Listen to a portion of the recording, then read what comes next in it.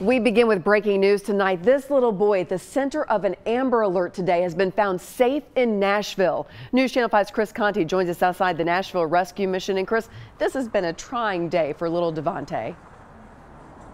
And Carrie, you could certainly see that today as he was taken into custody by Metro Police back there behind the women's shelter here just off Rosa Parks around 2.30 this afternoon. This was a scary 24 hours for this little boy after he was taken from his aunt's home out in Knoxville in East Tennessee and then apparently brought with his mother who didn't have custody of him to the women's shelter here. Now, it was just after 2.30 this afternoon when we saw Metro police officers actually moving Davontae from one car to another, preparing to bring him up to the North Precinct. We are told that his mother, Ashley, was taken into custody and brought to the North Precinct where she was brought for some questioning by Knoxville police who were traveling here to Nashville.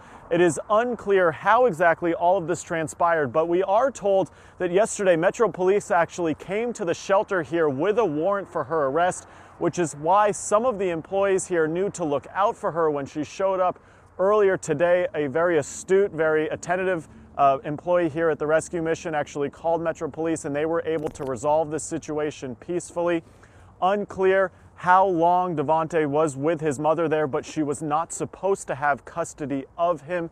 He is being brought back to Knoxville tonight so that he can be reunited with his family. But all of this sparked a statewide Amber, Amber Alert, which is why this situation was so tense today. That is the latest from North Nashville this evening. Chris Conti, News Channel 5. Chris, thank